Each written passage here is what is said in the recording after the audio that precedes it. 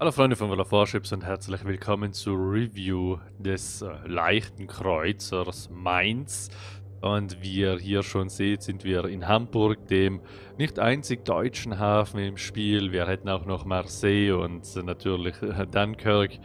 Kleiner Witz am Rande. Naja, die Mainz. Ein leichter Kreuzer auf Stufe 8. Ja, Work in Progress momentan. Und wenn ihr sagt, hey, das Schiff kenne ich doch irgendwoher, dann liegt ihr damit natürlich nicht falsch. Die Mainz ist, wenn wir uns den Rumpf einmal näher anschauen, doch sehr, sehr ähnlich einer Admiral Hyperklasse und ganz genau unterm Strich ist es das auch, denn äh, die war, glaube ich, einmal mit 150 mm geplant, aber die Kriegsmarine hat sich dann für 203 mm entschieden und das war eine ausgezeichnete Entscheidung.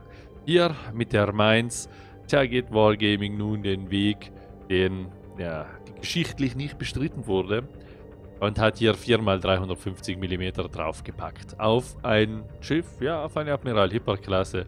Nicht ganz identisch, natürlich andere Werte. Auch die Panzerung ist ein bisschen anders. Nicht großartig, aber dennoch ein bisschen anders. Und äh, sagen wir mal so, die Geschichte hat einmal etwas gut gemacht und Wargaming etwas schlechter. Denn die 150 mm sind nicht so toll, wie man sich das vielleicht theoretisch denken mag. Kleiner Spoiler-Alarm. So, optisch ist das Schiff gelungen. Sieht aus wie eine kleine Hindenburg mit viel zu kleinen Türmen. Aber kommen wir nun zu den Daten. Gehen wir einmal zuerst natürlich zum Wichtigen. Und hier haben wir die Panzerung. Wir haben frontal 25 mm, wie ihr seht, und unten den Panzergürtel 40. Das bedeutet, wenn wir nah genug dran sind und ein bisschen Glück haben, dann können wir frontal nicht rausgenommen werden. Aber dafür müssen wir sehr, sehr nah ran. Also ich spreche hier von Overmatchen.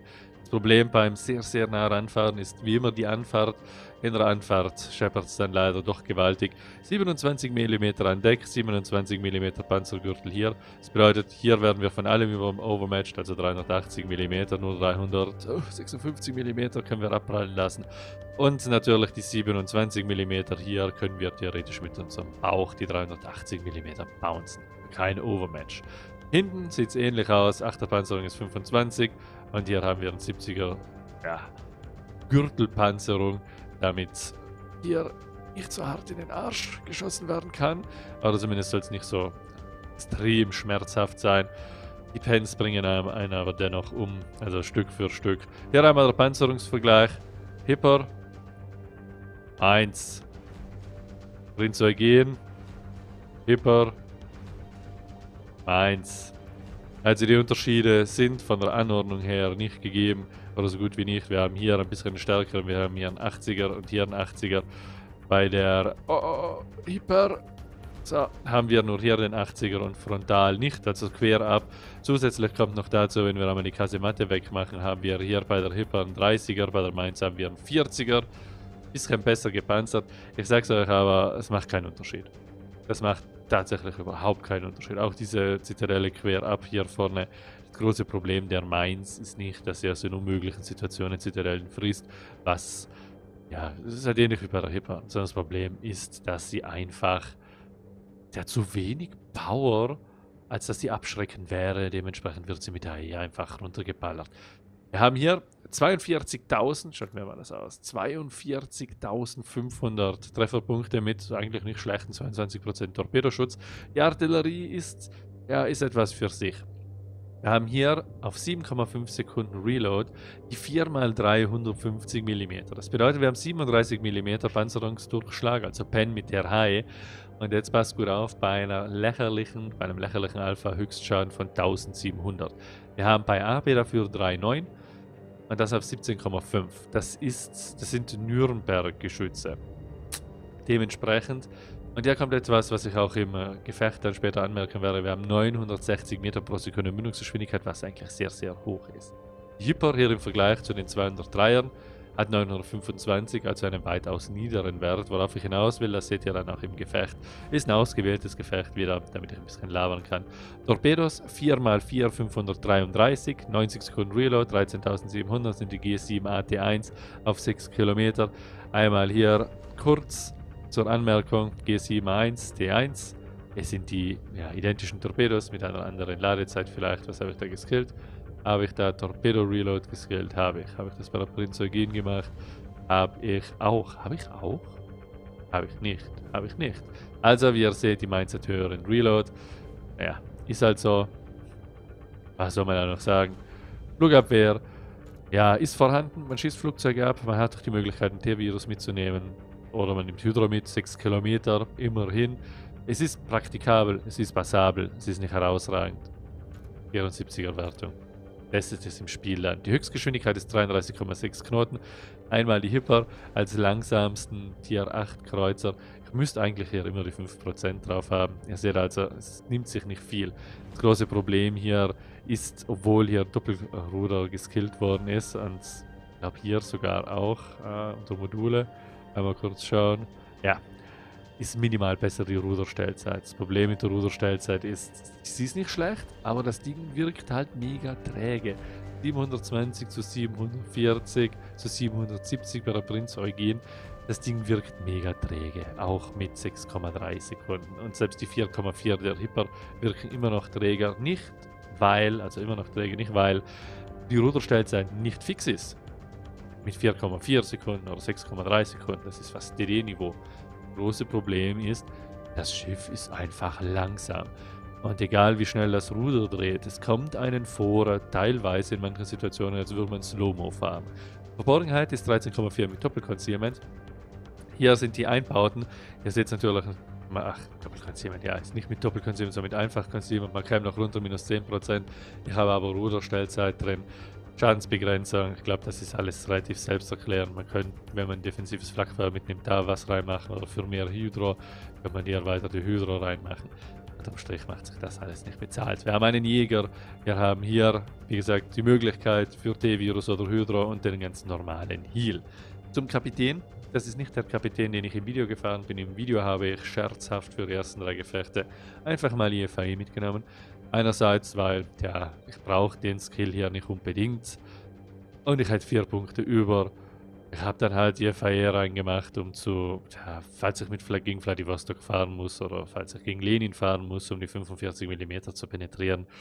Macht sich natürlich nicht bezahlt. Großes Problem dabei ist, dass dann die Brandwahrscheinlichkeit, die extremst, man muss einfach sagen, bescheiden ist. Obwohl hier 11% angeführt werden, sinkt sie dann übrigens auf 8% macht dieses Schiff so wenig Brände, das ist unkontrollierbar. Das ist das Wahnsinn. Ein Mogador macht mehr Brände mit 8% als dieses Schiff. Einfach mal, einfach mal im Gefecht schauen. Ist natürlich RNG, kann Pech gewesen sein hier in diesem Fall. Aber es war relativ traurig. Von daher, naja. Fazit, hört ihr im Gefecht.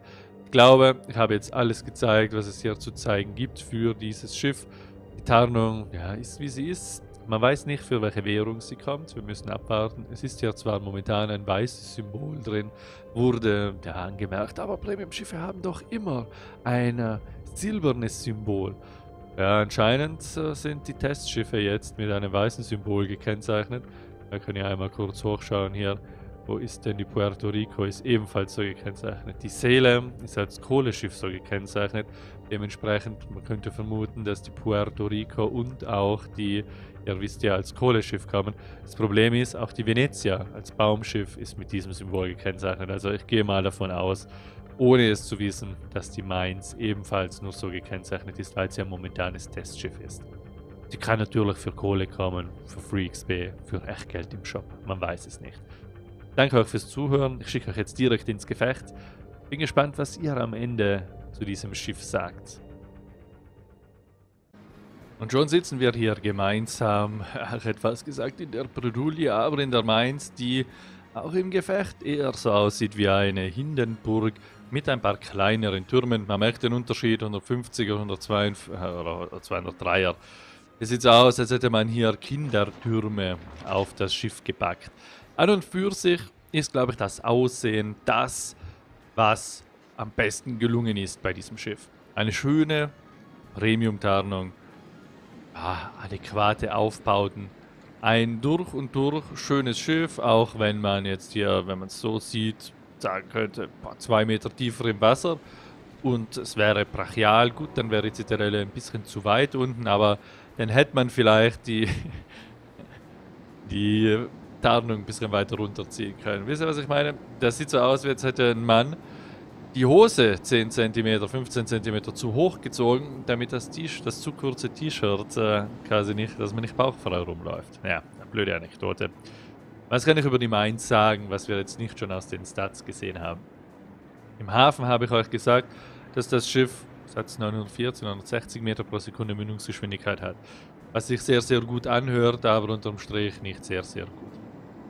Das Problem bei der ganzen Geschichte ist, wir haben hier, weiß gar nicht, ob es der gleiche Shell-Arc ist wie bei der Nürnberg, aber er ist ähnlich. Der hier kommt mir weitaus schlimmer vor, weil wahrscheinlich, weil es Stufe 8 ist. Wir haben hier einen extremen Shell-Arc, also einen extremen Feuerbogen, was auch kompensierbar ist, aber die Geschütze, die Granaten, die Granaten sind so lange in der Luft, dass eine Smolensk, die schießt, nachdem wir geschossen haben, immer noch eine hohe Chance hat, kommt auf die Entfernung an, dass, also auch wenn sie auf selber Linie steht mit uns, dass ihre Granaten vor unseren ankommen. Und das ist bei dem Ausmaß an Mündungsgeschwindigkeit ist brutal. Ich weiß nicht, das soll wahrscheinlich nicht so sein. Für mich ist es ein Fehler. Und wenn es so sein soll, dann halte ich, es für einen Fehler, dass es so sein soll. Einmal kurz zum Gefecht, damit ihr seht, das ist quasi nur was im Hintergrund. Man muss sagen, ich bin jetzt mittlerweile fünf bis sechs Gefechte gefahren mit der Mainz. Mein Ersteindruck im ersten Gefecht hat sich leider bewahrheitet. Dazu dann später mehr, aber der Matchmaker war durchaus fair. Es waren, es war, das erste Gefecht war ein Stufe 10 Gefecht, das zweite Gefecht war ein Stufe 8 Gefecht, also Top-Tier. Und jetzt sind wir hier im Stufe 9 Gefecht. Das müsste Gefecht Nummer 3 sein mit der Mainz. Es ist natürlich ausgewählt und jetzt nachkommentiert, wie ihr jetzt sicherlich schon gemerkt habt. Wenn nicht, es ist nachkommentiert und ausgewählt. Aus verschiedenen Gründen. Der Kapitän, den ich euch äh, im Hafen gezeigt habe, ist nicht der Kapitän für dieses Gefecht. Ich habe äh, da den Anti-Air-Skill ausgetauscht gehabt für IFAE. Ja, ich weiß, IFA ist nicht notwendig bei den Deutschen. 150 mm geteilt durch 4. Wir können alles spannen, was interessant ist. Aus, sagen wir so, ich habe keinen weiteren Skill eigentlich gebraucht und habe mir gedacht, ich mache just for fun IFA drauf, weil dann kann ich theoretisch eine Lenin und eine Vladivostok pennen, eine Sinop etc., was sonst in großen Teilen nicht möglich ist.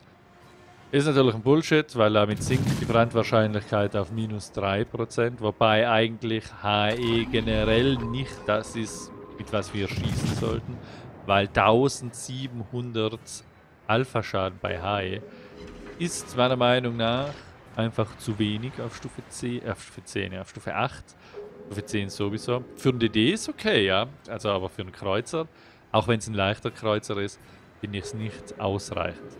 Natürlich mache ich Hydro an, weil Yakazuki draußen gesichtet worden ist und ich erwarte hier Torpedos.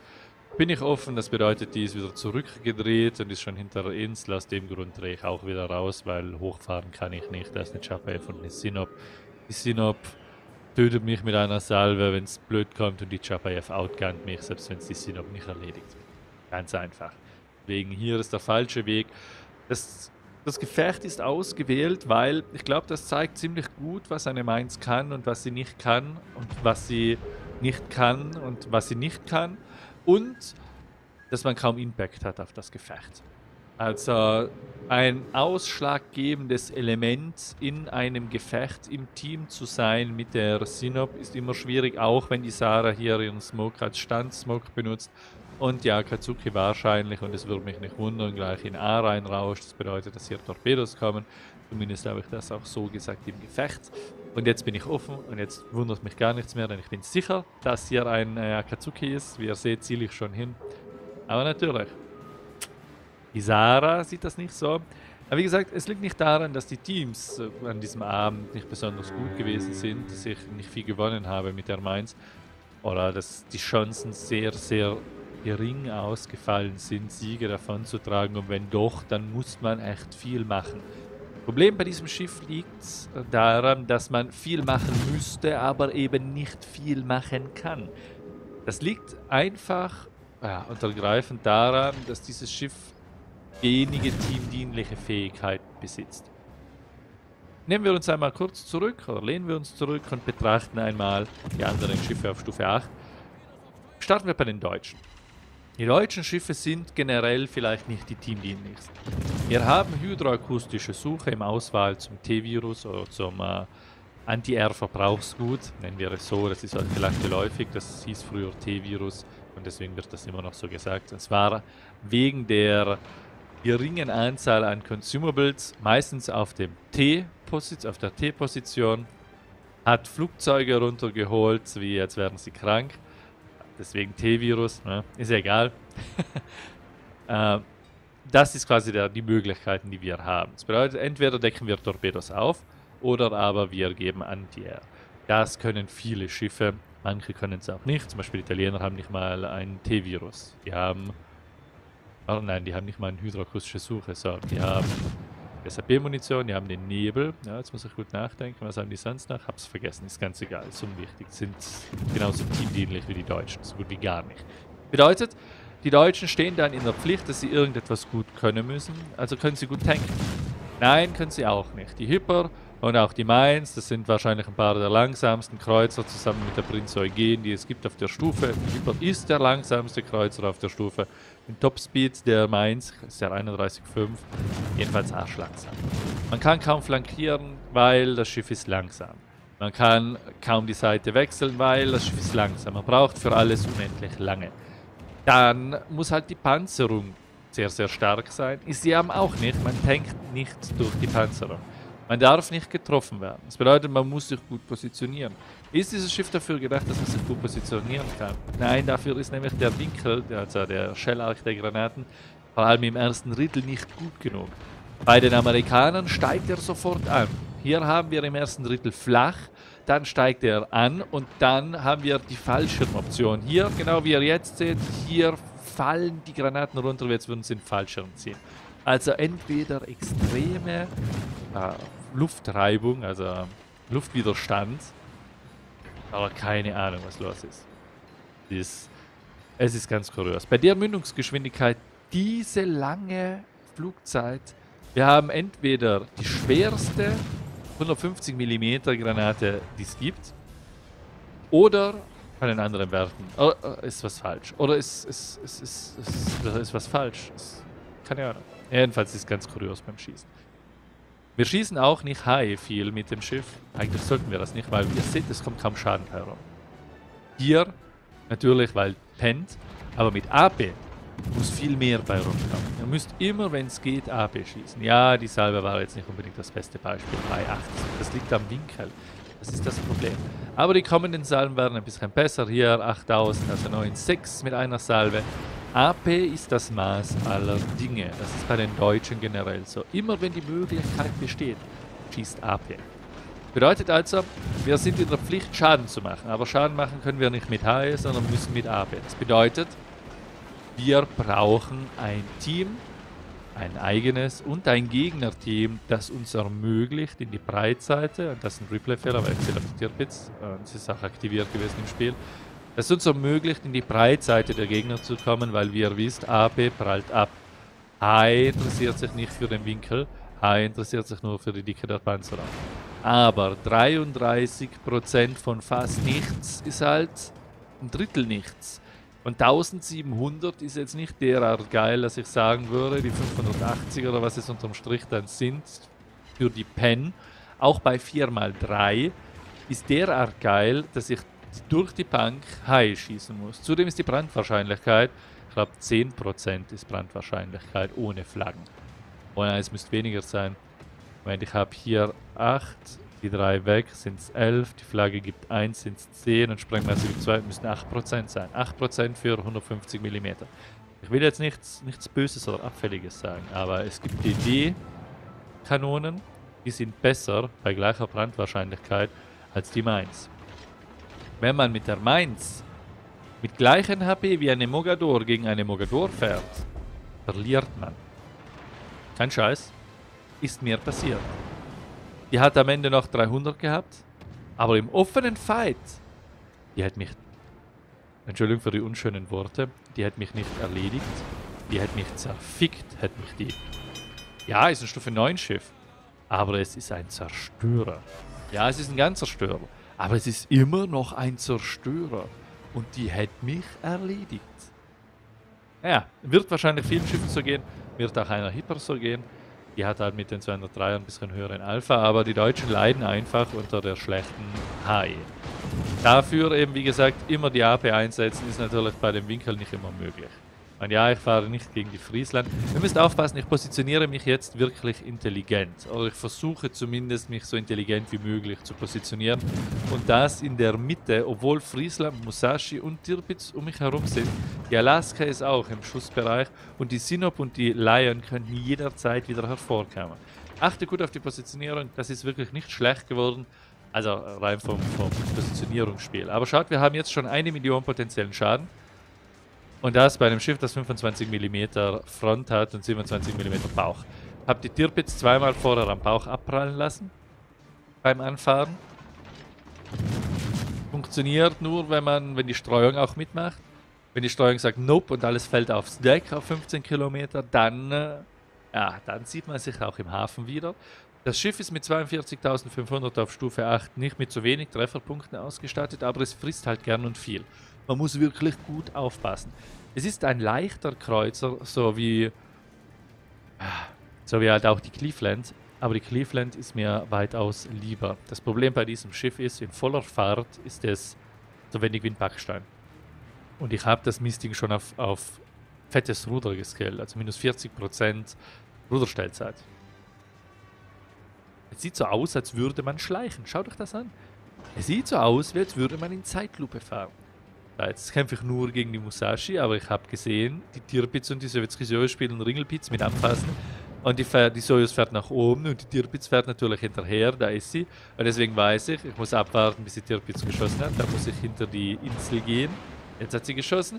Jetzt gehe ich hinter die Insel, drehe hart links und hoffe, dass ich zugehe, bevor die Musashi auf mich schießen kann. Weil das wäre mein Tod. Ihr wisst, 460 mm die geht durch wie ein heißes Messer durch Butter. Und dann sieht man sich auch im Hafen wieder. Ja. Die Torpedos sind natürlich nett. Kann sie mal einsetzen, aber leider nichts getroffen. Das Schiff ist davon gefahren. Aber naja, es ist halt das, was es ist, was jedes deutsche Schiff hat. 6 Kilometer Torpedos. Sie sind... Wir können ja sagen, wenn sich jetzt eine... Ah, Stufe 8 ist vielleicht ein bisschen schwierig. Äh, die Russen nur Stufe 4 äh, Stufe 4 nur 4 Kilometer Torpedos, aber wenn sich jetzt eine Bayard und eine Mainz gegenüberstehen, dann kann die Mainz sagen, ich habe auch Torpedos. Sie hat sogar mehr als die Bayard, aber eben nur 6 Kilometer. Das ist fürs Davonfahren bescheiden und fürs Angreifen ist es teilweise auch bescheiden.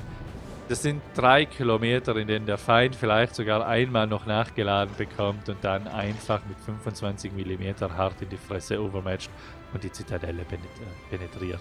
Und dann war es das. Die Torpedos, die man geladen hat und ich abschießen kann, die nützen einem halt nichts. Es ist potenziell machbarer Schaden, der halt nie gemacht wird. Da. Ja, ich warte ja auf die Friesland. Das einzige Schiff, das auf mich zieht, ist die Musashi. Ah, und es sieht ja aus, als würde ich reinzoomen mit dem Mausrad, ist aber Shift. Bedeutet, ist ein Anzeigefehler müssen wir in Zukunft müssen wir aufpassen, weil ist, ich ziele immer mit Shift rein. Ja, ich fahre natürlich, fahr natürlich jetzt nicht raus, ich bin ja nicht so dämlich. Äh, ich will ja noch ein bisschen Schaden machen. Oder zumindest zu meinen Bedingungen rausfahren und nicht rausfahren und im Trassensaal wieder aufgehen, weil ich keine Geschwindigkeit habe. Deswegen, ich habe Zeit. Ich erzähle, ich erzähle euch jetzt, was ich, und da wäre mir fast, was mir fast im Hals stecken geblieben, was ich von der Mainz halte. Ich finde, dieses Schiff ist nicht fertig. Es ist Work in Progress, aber es ist schlecht durchdacht. Verstehe, wenn Wargaming ein Schiff machen will, das, naja, balanced ist. Und ja, 50, 60.000 auf Stufe 8 in einem Kreuzer ist gut. Aber es gibt Schiffe, die, die machen mehr auf Stufe 8 und sind auch Kreuzer. Und da ist auch gut. Egal wie balanced dein Schiff ist, das Schiff muss Spaß machen. Weil Wargaming nützt ein Schiff nichts, das stark ist und keinen Spaß macht. so wie es ihnen nichts nützt, wenn ein Schiff schwach ist und keinen Spaß macht. Wargaming nützen nur Schiffe, die gefahren werden. Ob sie dann balanced sind oder nicht, ist wahrscheinlich sogar zweitrangig für die Verkaufszahlen. Es muss nur Spaß machen. Dieses Schiff macht keinen Spaß. Das ist das Hauptproblem. Es ist zu langsam, es ist nicht wendig genug. Kanonen, es macht keinen Spaß auf irgendwas zu schießen. Entweder ist der Shellark zu hoch, die Mündungsgeschwindigkeit falsch angegeben. Aber ich weiß nicht, es ist, es ist nicht schön. Es ist wirklich nicht schön, mit diesem Schiff zu spielen. Der Impact, den man aufs Gefecht hat, der ist quasi nicht vorhanden. Und ja, das ist ein untergeordnetes Problem. Denn eine Mogador oder eine Kleber, je nachdem wie man sie spielt, oder eine Khabarovsk, wenn man sie komplett auf Gunboat und äh, ohne Concealment spielt, hat vielleicht auch nicht einen großen Impact für Caps etc. Aber erstens macht es mega Spaß. Man fährt auch gut Schaden ein mit dem, aber das ist zweitrangig. Das würde auch mit 60.000 Spaß machen. Und was noch wichtiger ist, und ja, ich weiß, dass äh, die mich rausnimmt, das ist mir vollkommen klar, aber es ist das letzte Schiff und ich will noch ein bisschen Schaden machen, deswegen fahre ich und ich denke noch ein bisschen, sind 1,8 Millionen oder 1,7 momentan. Es geht. Aber was ist, ich kann mit, dem, mit einer Kabarovs, mit einer Kleber, kann ich Schiffe jagen, so wie die Musashi. Und sie werden mich kaum treffen und kaum zerstören. Geht mit der Mainz nicht. Kann potenziellen Schaden von vier Schiffen tanken, wenn ich aufpasse, und von zwei, wenn ich nicht aufpasse. Das kann die Mainz auch nicht. Die Mainz macht keinen Spaß. Ja, natürlich, ich vergleiche das jetzt mit Stufe 10 Schiffen, aber es gilt auch für die, ah, wie heißt die, Taschkent, für die Kiew. Beide sehr, sehr gute Zerstörer auf Stufe 8. Ist Taschkent 9? Taschkent ist 9. Oder ist Taschkent jetzt 8? Uh, uh, uh, uh. Taschkent ist 9. Taschkent ist 9. Ja, aber Kiew zum Beispiel, Ognewoy ist äh, Stufe 8 auf der anderen Seite. Die können das, die machen Spaß, die machen beide Spaß. Die Mainz macht einfach keinen Spaß. Und ich glaube, das ist ein gutes Fazit.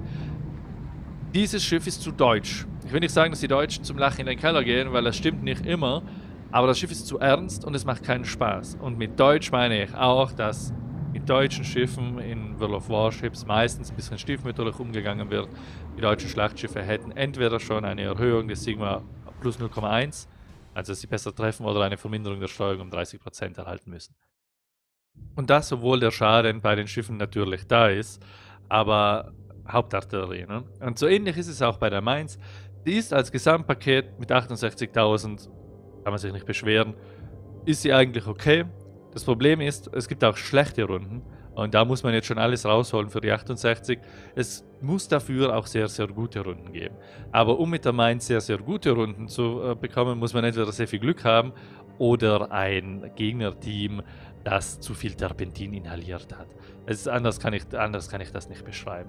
Weil wer es der Mainz erlaubt, dass sie wirklich farmen kann und dass sie dann noch nicht getroffen wird bei der Wendigkeit. Ich sage nichts, wenn eine Bayard beim Davonfahren vor drei Schiffen die Schiffe abfarmen kann, weil die ist schnell, die hat, die hat Boost, die, hat, die ist wendig, die kann tänzeln, die kann mit dem Arsch wackeln, die kann necken, die kann alles machen, die wird seltenst getroffen, obwohl sie eine scheiß Panzerung hat. Das kann die Mainz alles nicht, das Schiff ist träge. Wie gesagt, ist, ist ein ganz anderes Feeling. Und auch hier mit Teamwertung 1700 im Stufe 9 Gefecht, was durchaus okay ist. Und 1700 ist wirklich ist okay für einen Stufe 8 Kreuzer. Aber das Gefecht hat keinen Spaß gemacht. Möchte ich dieses Schiff nochmal fahren, obwohl es 1,8 Millionen fast getankt hat? Nein, möchte ich nicht. Sprenggranaten 27.000. Die wenigen Male, wo ich mit AP geschossen habe, ja, 91. Das sind Treffer. 186 zu 393 habe ich fast, habe ich ein Zehntel, ach ein Zehntel, ein Viertel mehr Schaden gemacht als mit 343. 50% mehr Granaten brauche ich. Das ist brutal. Mit HE. Der Alpha Weiß nicht. Das Problem bei der ganzen Sache ist, ich halte den Alpha mit 1700 für Stufe 8 zu gering. Ich verstehe, es sind 150 mm, es sind die der Nürnberg, die hat auch nur 1700. Das reicht, weil man Gegner hat, die weniger Trefferpunkte haben. Wenn ich auf Gegner schieße, die 26.000 oder 30.000 Trefferpunkte haben im Kreuzer, ist das vollkommen okay. Wenn ich aber auf 40.000, 45.000 Schiffe schießen muss und von Schlachtschiffen, von den Trefferpunkten mal ganz abgesehen, dann ist es ein Problem. Und wenn wir noch einmal zurückgehen hier. Wir sehen, wir haben ja nur einen einzigen Brand. Einen einzigen Brand bei 184 Treffern. Ja, ist gut, ist bei 8% vielleicht nicht prall. Aber ah, in Brand. Das Schiff ist sehr deutsch. Ich hätte es gern lieber ein bisschen russischer. Vor allem die alles entscheidende Frage ist, warum sollte ich mir die Mainz antun, wenn ich eine Irian habe, wenn ich eine Bayard habe, wenn ich eine Chapayev habe? Oh Gott, ich habe eine Baltimore und ich habe eine Cleveland auf der Stufe. Holy moly, die Mainz ist... Ist einfach nur ein fettes Nein momentan. Das Schiff ist Work in Progress, vergesst das nicht, es kann sich noch ändern. Ich bin der starken Meinung, dass es sich noch ändern wird. Wenn nicht, dann beachtet das Schiff einfach nicht, weil es ist traurig. Danke fürs Zusehen. Ich hoffe, es wird wieder lustiger und wir sehen uns dann bald wieder im nächsten Gefecht. Ciao.